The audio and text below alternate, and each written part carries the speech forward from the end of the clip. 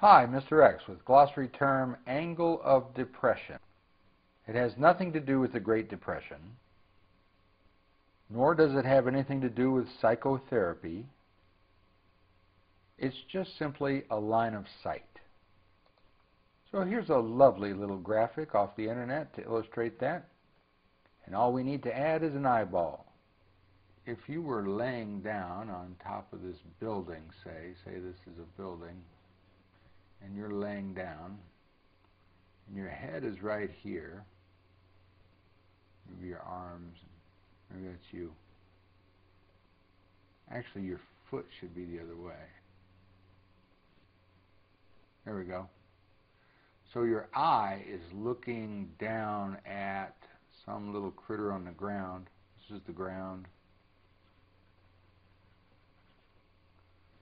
And there's a little bug. You're looking at a bug on the ground.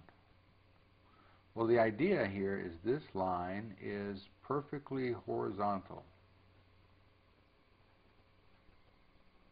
So the angle of depression between your eyeball and the bug on the ground is this angle here. That's an angle of depression.